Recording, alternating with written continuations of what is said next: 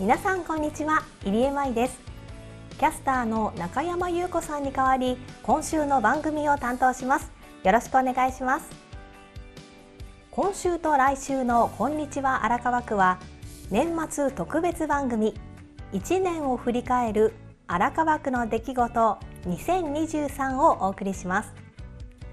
前編の今回は今年1月から7月までの出来事をたっぷりと振り返ります。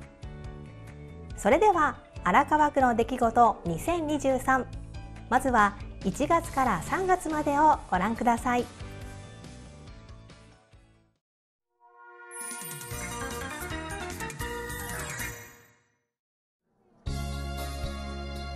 日頃から荒川区の発展に力を尽くしていただいている各界の方々を招き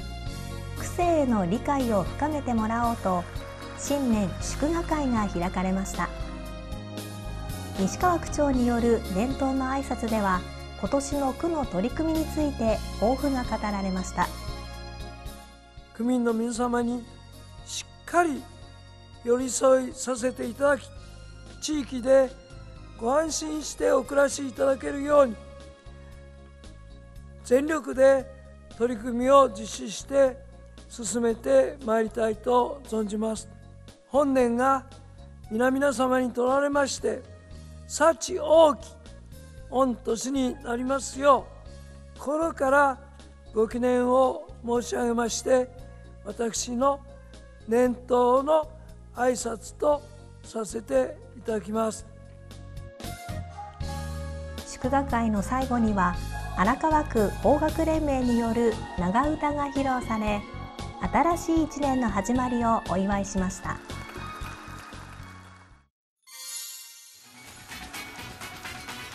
ゆいの森荒川の新年最初の開館日となった1月4日。日本舞踊藤川流家元藤川住十郎さんとその門弟の皆さんによる舞踊ショーが行われました。満席の中古典舞踊や邦楽に寄せた華やかな踊りが披露されました。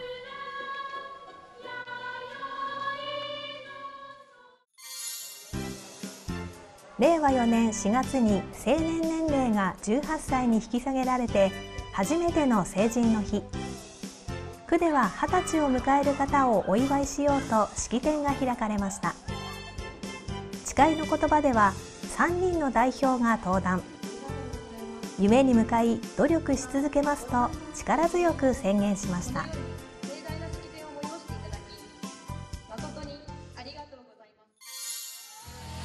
地域住民主体で運営する総合型地域スポーツクラブ。南千住スポーツクラブが主催するスポクラ駅伝 in 塩入りが10回目の開催を迎えました。小学生から大人まで4つの部門に47チーム188人が参加。1チーム4人力を合わせたすきをつなぎました。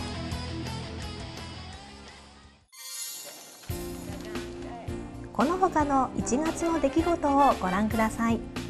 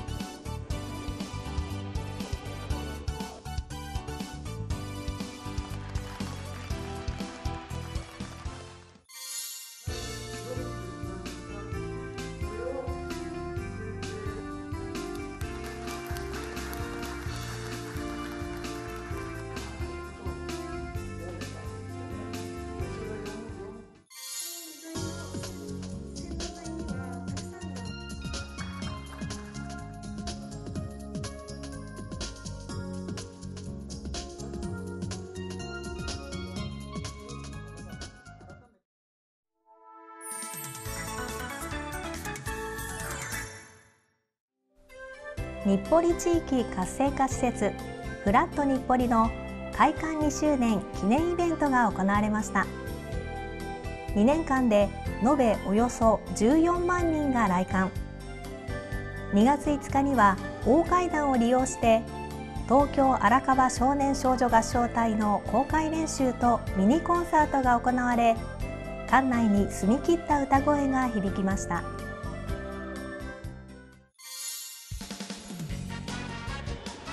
1986年にカナダで誕生したニュースポーツキンボールスポーツの大会が開かれました。荒川区キンボールスポーツ連盟が主催し全国から73チームおよそ400人が参加。各チーム息の合ったプレーで白熱した戦いを繰り広げていました。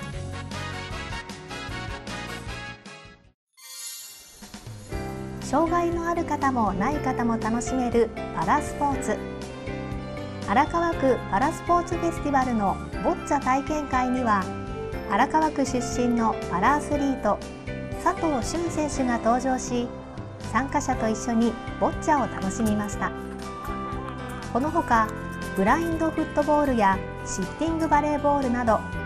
さまざまなパラスポーツを楽しむことができました。令和3年2月20日に区内初の公園内図書館としてオープンした小具図書館。開館2周年を迎え記念イベントが行われました。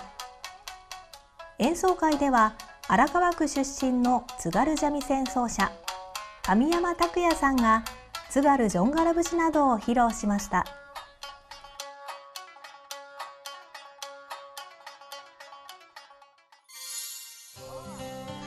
この他の2月の出来事をダイジェストでご覧ください。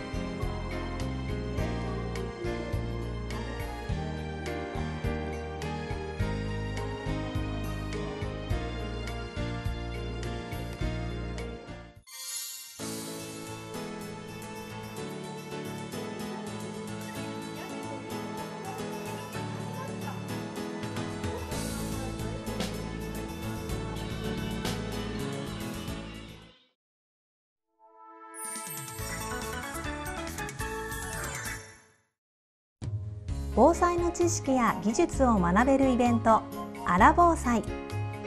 期間中特設ページにてオンライン開催されたほか区内10カ所に備蓄展示場を設け7日分相当の飲料水や食料などの備蓄品を展示このほか中学校防災部による防災プログラムが行われ来場者に初期消火などの方法を説明しました。3月は卒園卒業の時期。区立幼稚園と区立こども園では修了式が行われました。区内9つの園合わせて157人が卒園し南千住第二幼稚園では20人の園児が幼稚園生活最後の日を迎えました。園児一人一人に修了証書が授与され元気よく証書を受け取っていました。区立中学校では1140人の生徒が卒業しました。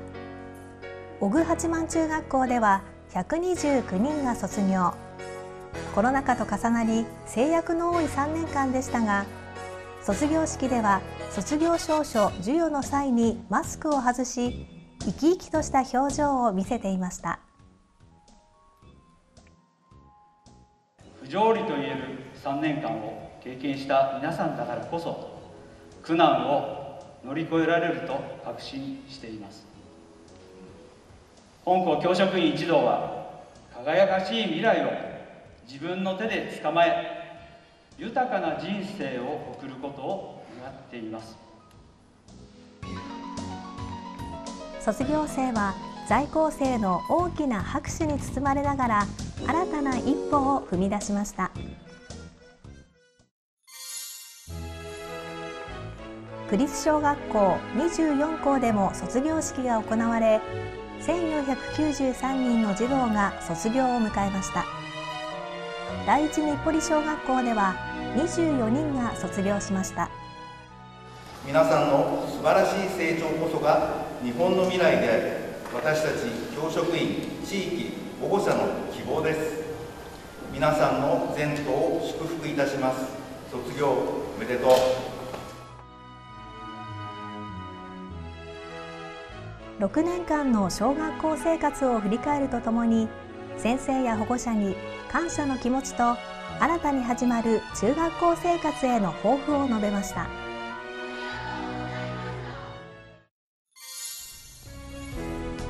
この他の3月の出来事をダイジェストでご覧ください。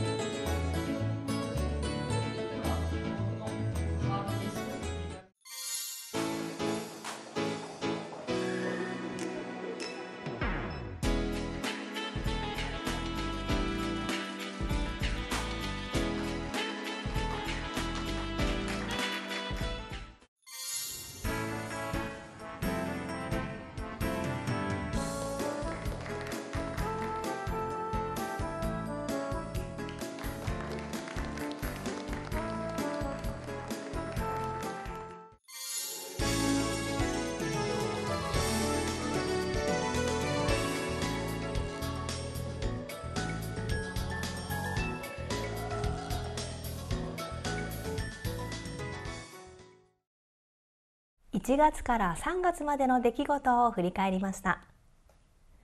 続いては特集でも取り上げた区内のイベントを振り返ります。コロナ禍を経て数年ぶりの開催となったイベントが数多くありました。それではどうぞ。特集コーナーでも多くのイベントをご紹介しました。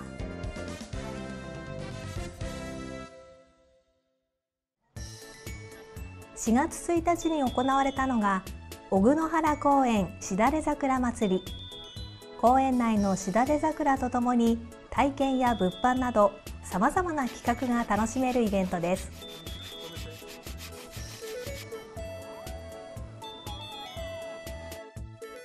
園内のおよそ250本のしだれ桜は区民などの有志が里親となり植樹され20年以上にわたり維持管理が続けられています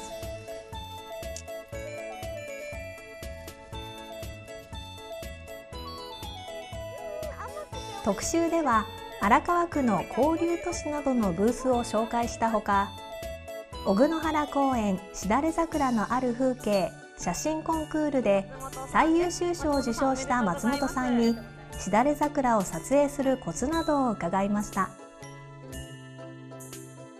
やっぱり空が青いこととしだれなので下からこうシャワーのように撮るのがいいと思うの。でこの写真についてはあのここが一番一面にこう咲いてる状況があると思うのでこれを見てあここの公園だなって分かるような写真を撮りたくてこの写真のポーズにしました、はい、青空というのもポイントなんですね。そうですね。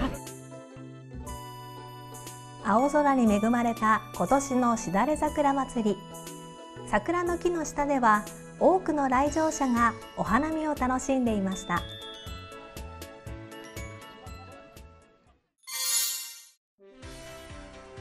荒川区最大のイベント川の手荒川祭り。4年ぶりの会場開催となった模様を中山さんと一緒にお伝えしました。この川の手荒川祭りを紹介する上でふるさと市場欠かせないですよね。うんそうですよね。本当にすでに多くの方で賑わってますね、交流都市の中から22の自治体が参加したふるさと市。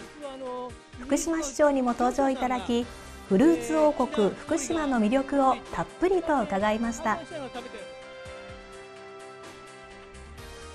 同時開催の商業祭では私入江が大人気のガラクタ市にお邪魔しました。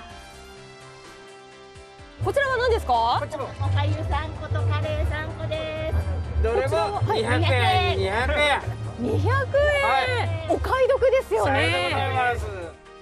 この他にも川の手荒川祭りの会場には地元の商店や組合観光所など64のブースが出店子どもからお年寄りまで多くの方でにぎわいました。6月地域で活動する手作り作家たちの作品を紹介販売する荒川手作り市が開催されました。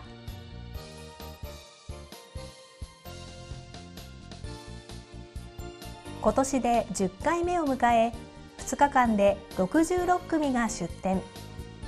アクセサリーなどの小物類から布雑貨や革製品粘土細工まで思いのこもった個性あふれる作品が並びました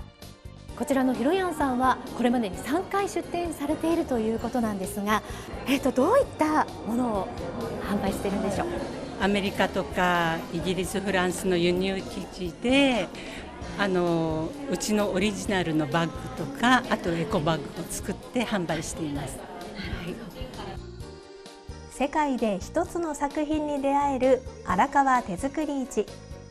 来場者は買い物だけでなく作家との交流も楽しみながら会場を巡っていました。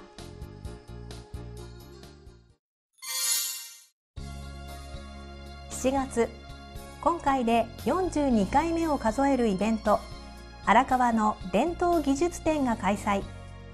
区内外から伝統工芸技術を継承する職人およそ60人が一堂に会しました。特集では令和4年度荒川区指定無形文化財保持者に兄村井正孝さんとともに認定された安尾さんにお話を伺いました。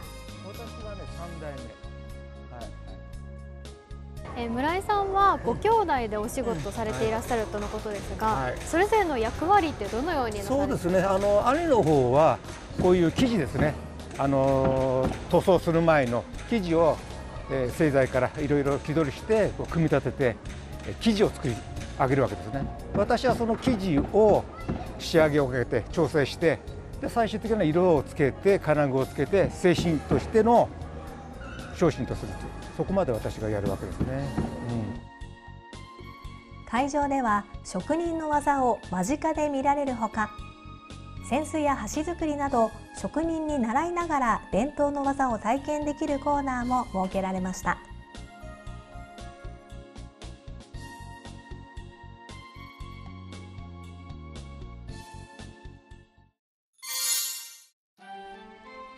8月フラット日暮里ではモノフェスイン日暮里2023が初開催。2日間合わせて10組のものづくり作家や企業がブースを設けワークショップを開きました。こちらはバーコ印刷という紙の表面に凹凸をつける印刷加工技術を使ったオリジナルの紙雑貨を製造販売している企業です。えーと、オリジナルリングノートが作れるワークショップをやっています。あの表紙が塗り絵になっていて自分で塗った塗り絵を表紙にできるノートです。あの塗り絵の輪郭絵の輪郭が浮いてるんですよ。なんで凹凸ができてるので、うんと、塗りやすくてはみ出さない、うん、はみ出しづらいという特徴のある塗り絵です、はい、そういった工夫というか特徴があるんですね日頃からワークショップを開催している作家の皆さんにもイベントに参加してもらうことで世代を問わず多くの人に荒川区のものづくりを知ってもらう良い機会となっていました。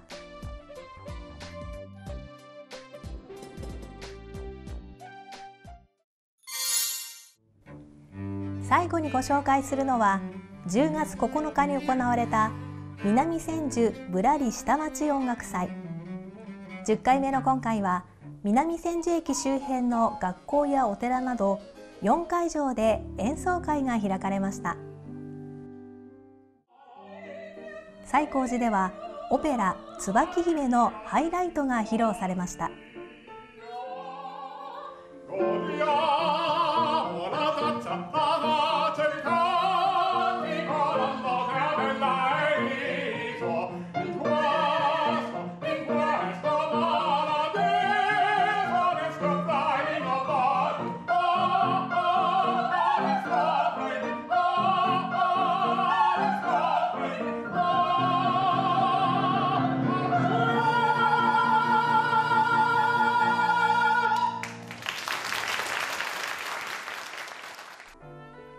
来場者の皆さんは本格的なクラシック音楽を鑑賞しながら南千住の魅力を堪能していました。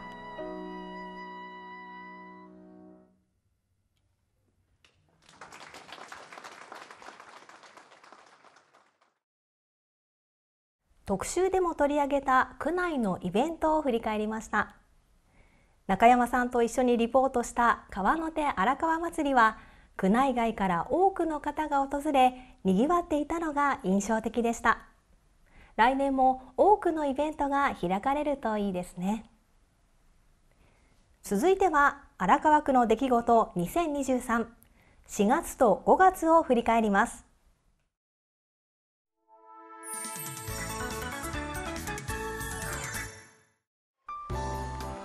4月新生活のスタートです。区立小学校24校では入学式が行われ真新しいランドセルを背負った子どもたちが家族や友達と一緒に晴れやかな表情で登校しました。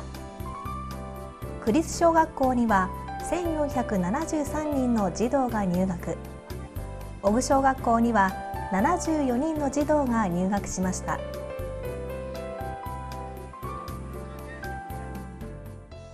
今日は校長先生が派な1年生になる方法を2つ教えます。1つはおしゃべりをしないで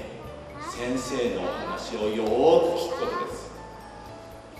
お話が聞ける子はお勉強がたくさんできるようになります。2つ目は元気に大きな声で挨拶をすることです。元気に挨拶ができる子はぱい友達ができますし学校が楽しくなります。皆さんはこの2つの魔法使えますか？新入生はこれからの小学校生活に胸を膨らませていました。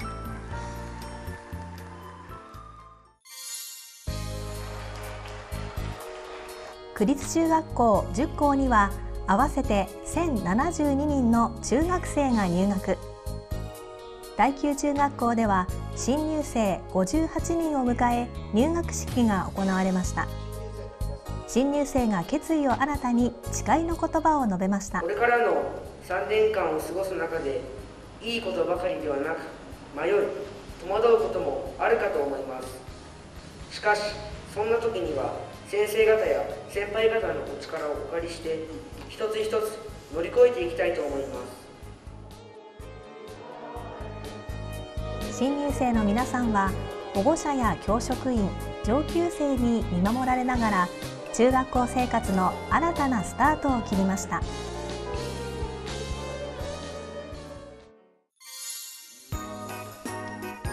区立幼稚園とこども園では入園式が行われました。区立幼稚園こども園に入園したのは79人。花の木幼稚園には10人が年少組に入園し年中年長組の子どもたちが歓迎の言葉と歌で入園時を迎えました。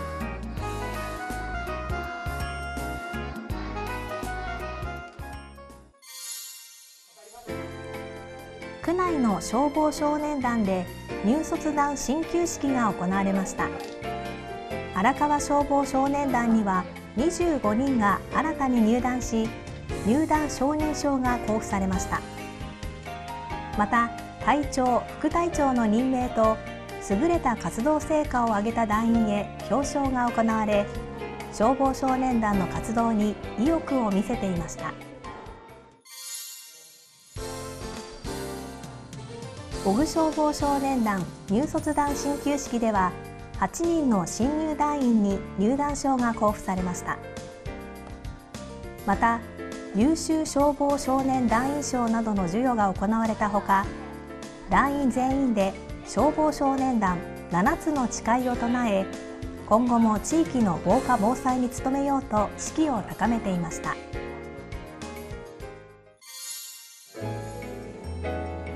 この他の4月の出来事をダイジェストでご覧ください。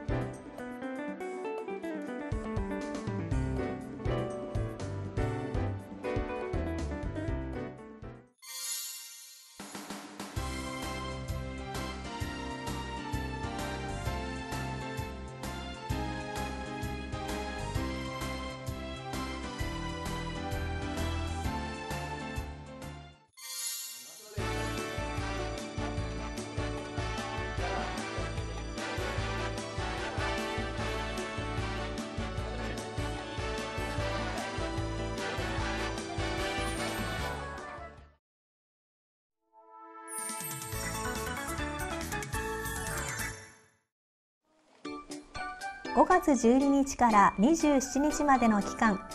荒川ローズウィーク2023が開催されました期間中荒川製菓商組合加盟店でのバラの花鉢販売や宮前公園でのバラと緑の青空演奏会などバラに関連したさまざまなイベントが行われました。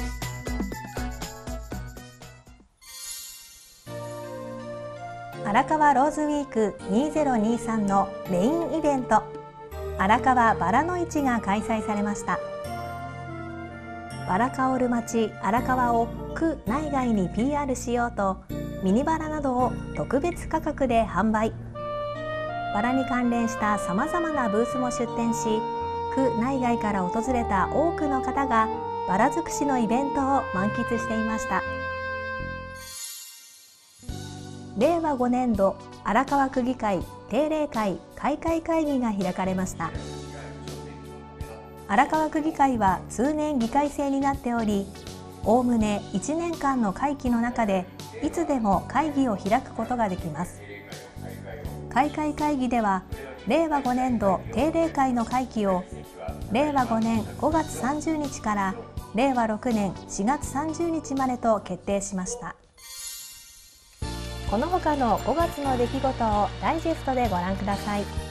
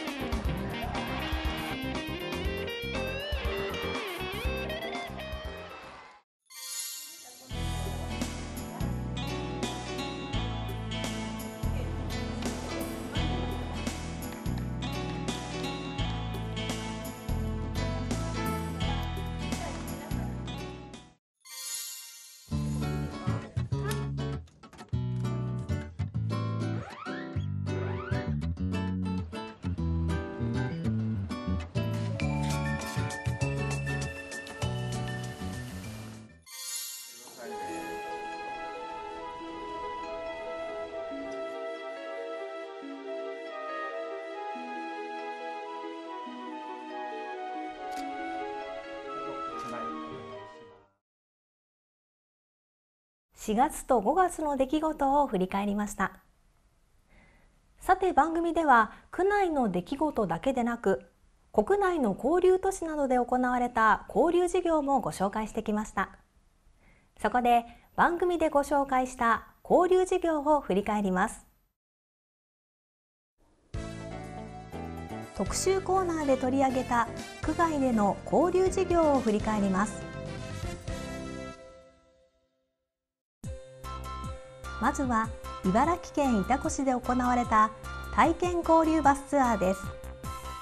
潮来市と荒川区の交流を深め潮来市の特産品や観光の魅力を区民に体感してもらおうと平成29年から行われている行事です。5月に田植えと芋苗植えを9月に稲刈りと芋掘りを実施しました。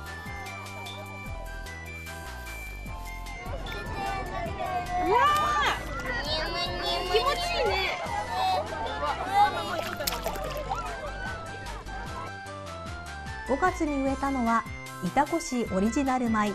潮来あやめちゃんの苗。子供も大人も泥だらけになりながら田植えに夢中になっていました。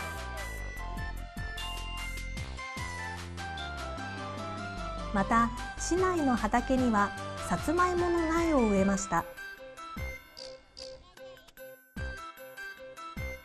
9月収穫のために再び潮来市へ。参加者自らの手で稲を刈り取りました。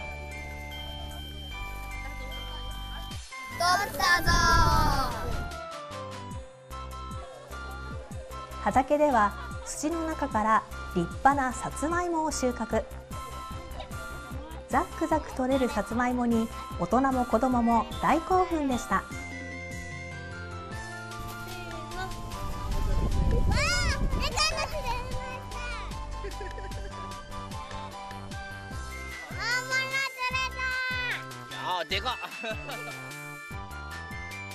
者は2回の交流ツアーを通して自分の手で育て収穫する喜びを感じることができました。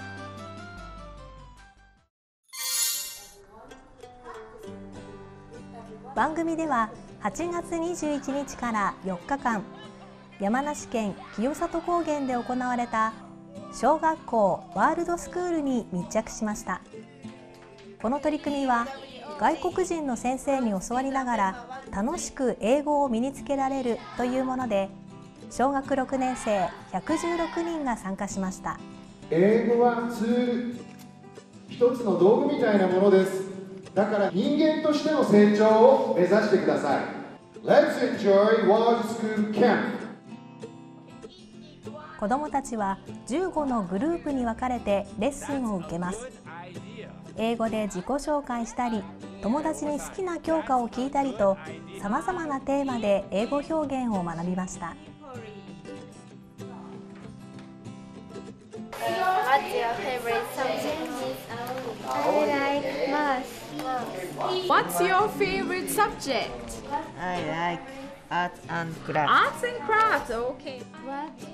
最初は緊張からか声が小さかった子どもたちも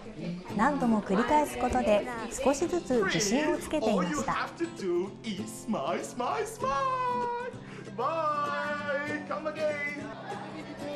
また期間中はレッスンだけでなくレクリエーションや食事の時間などを通して外国人の先生たちとの交流も楽しみました。最終日はグループごとに寸劇を披露しました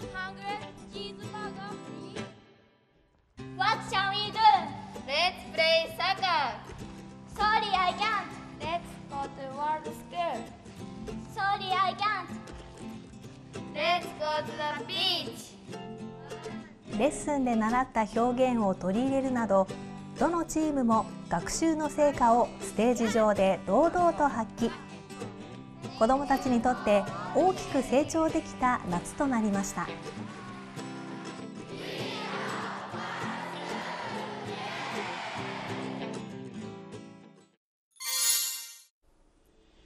最後に振り返るのは新潟県村上市で行われた鮭の町で学ぶ森林自然体験ツアーです。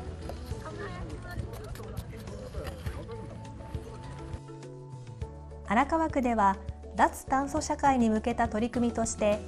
交流都市などと連携した森林の整備そして森林について学び体験する機会を設けています。鮭の町として知られる村上市では山を豊かにすることで鮭が生まれ育つ川と海を育む鮭の森づくり活動に20年以上前から取り組んでいます。今回はその取り組みに区民が参加しました。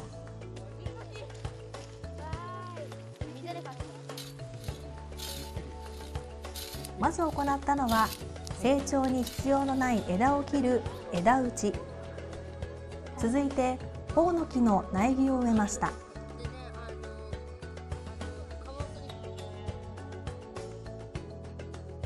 今日皆さんね植えてくださる木はおそらく50年後。あるいは100年後大きな大木になってまた三表川に鮭を戻してくれますよ。1泊2日で行われたツアーでは鮭の森づくり活動の他にも村上市の魅力を堪能。荒川区と村上市の交流を深める良い機会となりました。交流都市などで行われた交流事業を振り返りました。それでは荒川区の出来事2023前編最後は6月と7月を振り返ります。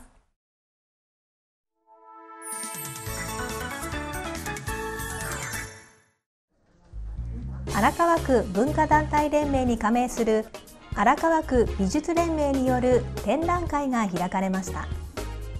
会員の作品を区民に鑑賞してもらう機会として開かれ今年で39回目。油絵水彩画水墨画などジャンルを問わずさまざまな絵画作品が展示されました。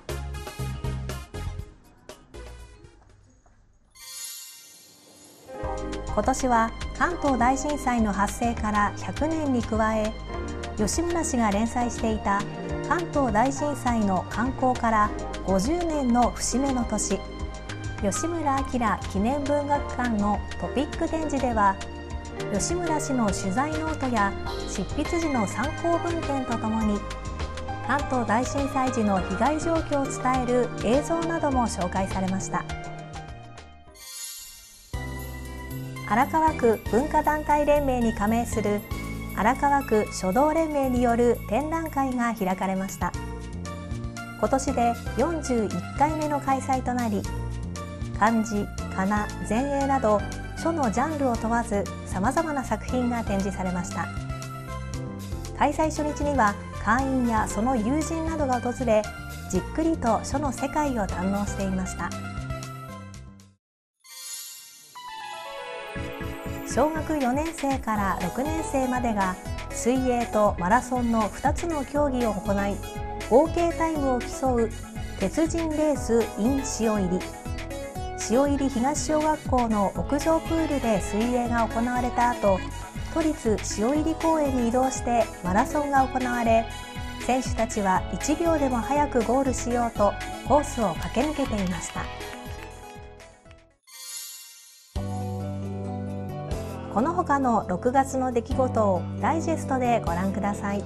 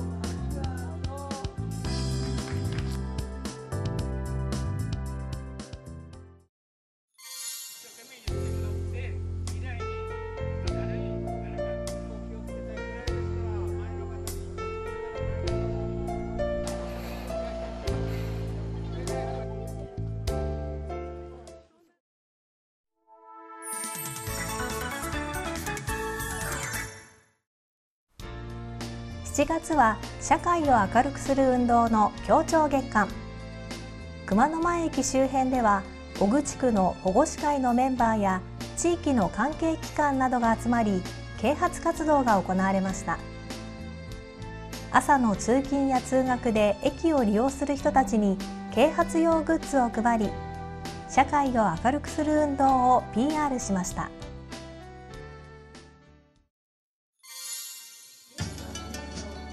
地域振興功労者表彰は町会や自治会の役員として長年にわたり地域社会の発展に貢献し他の模範となった方たちの功績を称えるものです。今年は17の町会や自治会から推薦された43人が受賞。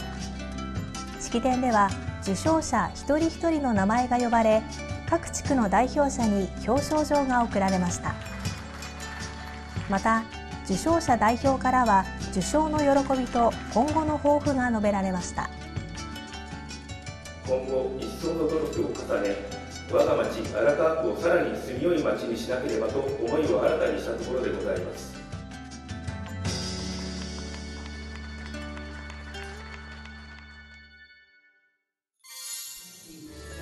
さまざまな芸術や伝統文化を体験できる荒川子ども文化体験フェスタ。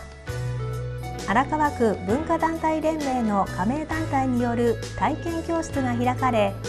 書道や茶道琴などを子どもたちが体験しました。また小ホールのステージでは子どものど自慢やバレエの発表会なども行われました。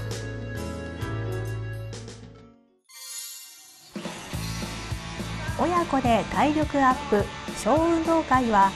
楽しみながら体力の向上と健康づくりを図ろうと荒川区体育協会が主催。吉本の芸人も参加して運動会を盛り上げました。赤と白に分かれて優勝を競い合います。花形競技リレーでは手に汗握るレースが繰り広げられました。この他の7月の出来事をダイジェストでご覧ください。